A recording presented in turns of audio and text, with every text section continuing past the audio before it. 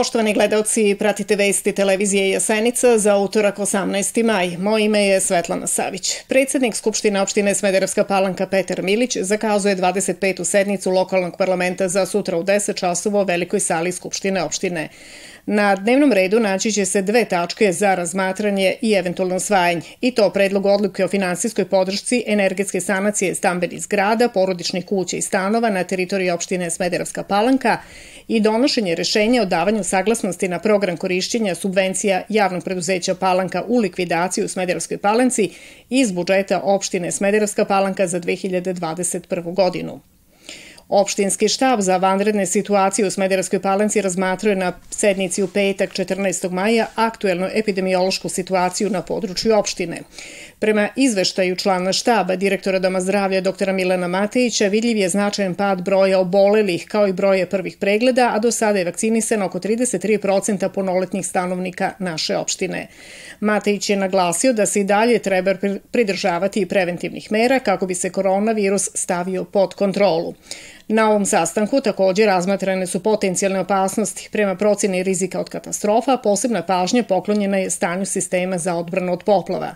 Na sastanku je konstatovano da je sistem za odbranu od poplava na vodama prvog reda Jasenica i Kuvršnica u mnogo boljem stanju nego pre 7 godina, kada je našu opštinu pogodila katastrofalna poplava. Prema rečima inženjera Igora Trbojevića, rukovodioca stručno-operativnog tima za odbranu od poplava, učvršćeni su nasipi, pročišćeno rečno korito, jasno utvrđena slaba mesta i zato u ovom trenutku ne treba strahovati od ove elementarne nepogode. Na sastanku je bilo reči o protivgradnoj zaštiti kao i zaštiti od požara, a razmatrana je i opasnost od zemljotresa, budući da se opština Smederevska palanka nalazi u najtrusnijoj zoni u Srbiji. Sastankom je predsedavao zameni komandanta štaba Ivan Gajić, a prisustvovali su načelnica odeljenja za vanredne situacije u Smederevu, pukovnik policije Jadranka Vuković i šef oceka za civilnu zaštitu i upravljanje rizicima, major policije Anita Klikovac. Situacija sa koronavirusom se popravlja. Broj zaraženih na dnevnom nivou opada, a manji i onih kojima je potrebno bolničko lečenje. Prema informaciji koju smo dobili od nadležnih iz opšte bolnice Stefan Visoki, u ovoj zdravstvenoj ustanovi u našem gradu situacija je bolja u odnosu na prethodni period. Smanjuje se broj pregleda u COVID ambulanti pri infektivnom odeljenju, a na lečenju sa lakšom kliničkom slikom u bolnici se nalazi 47 pacijenata. U COVID ambulanti Doma zdravlja Smederevska palanka u prethodna 24 sata sa simptomima koji mogu ukazati na koronavirus, prvi put se javilo 29 pacijenata. Ukupno je obavljeno 82 pregleda, testirano 36 osoba, tri su bile pozitivne. U dečjem i školskom dispanzeru Doma zdravlja testirano četiri deteta, nijedno nije bilo pozitivno na COVID-19.